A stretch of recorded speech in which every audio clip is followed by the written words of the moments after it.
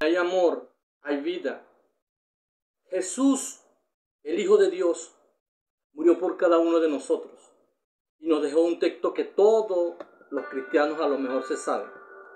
Porque de tal manera amó Dios al mundo que ha dado a su Hijo unigénito, para que todo aquel que en él cree no se pierda, mas tenga vida eterna.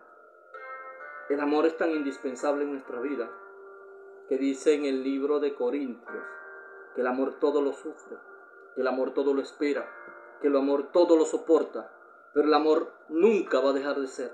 ¿Sabes por qué? Porque Dios es amor. Definitivamente todos nosotros los seres humanos necesitamos ser amados. Somos seres sociales. Tú y yo necesitamos ser amados. Amados por aquel ser querido que está a nuestro alrededor. El amor tiene que ser sin fingimiento. El amor tiene que ser de lealtad. Si yo amo, tengo que demostrarme que amo a esa persona. Así como el amor de Dios, también existe el amor de la madre. El amor de la madre es comparado al amor de Dios. Nuestra madre ama con ganas y ímpetu. Y nosotros tenemos que ser leal a nuestro ser amado.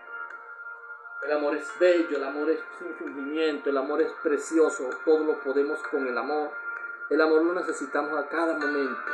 Y distintas frases del amor, momentos de sabiduría con el profesor Hermes José González.